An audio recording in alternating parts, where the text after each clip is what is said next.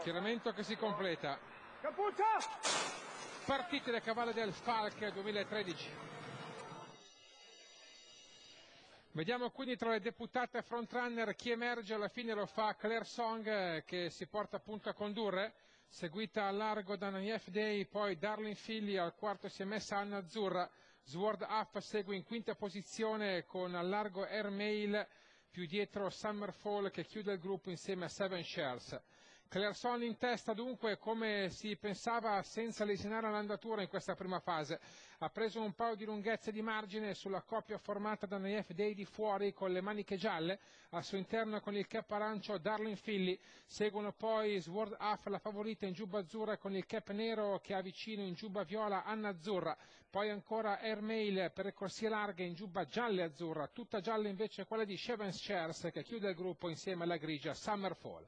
Sempre Clerson in testa deterra la, la d'andatura e senza prendere prigionieri.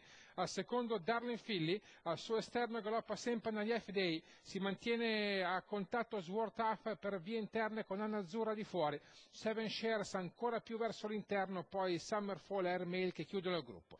Siamo impiegata con Claire Son sempre in vantaggio, sempre con lo stesso margine rispetto a Darling Philly che curvando all'interno ruba qualche metro a Nalief Day, Muove invece adesso Sword Half che sembra intenzionata a venire via di fuori. Anna Azzurra inizia a essere accompagnata, poi Seven Shares, più dietro anche Airmail accompagnata e superata da Summerfall. In quest'ordine verso il completamento della piegata che mette in retta d'arrivo, Naif Day risponde alle pressioni del suo gioco e prova addirittura ad andare all'attacco di Claire Son che è sempre in vantaggio. Darling Philly che si mantiene a contatto, Sword Half che si affaccia insieme a Seven Shares per le corsie interne. In quella parte si presenta presenta anche Summerfall, più dietro Anna Azzurra ed Airmail. È ancora in vantaggio Claire Song sotto la minaccia tedesca di Sword Huff e ancora più all'interno di Seven Shares. Le tre in aperta bagarre su Summerfall che prova a ritornare sulle altre ormai battute. Sono passate Sword Huff e Seven Shares che allungano rispetto a Claire Song ai 400 scarsi. Le due in aperta bagarre con Seven Shares all'interno su Sword Huff che sembra un po' in crisi su questa frazione. Seven Shares che allunga su Sword Huff.